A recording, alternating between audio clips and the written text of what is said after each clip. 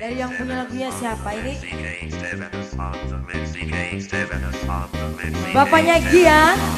Dipersilakan bapaknya Gia. Best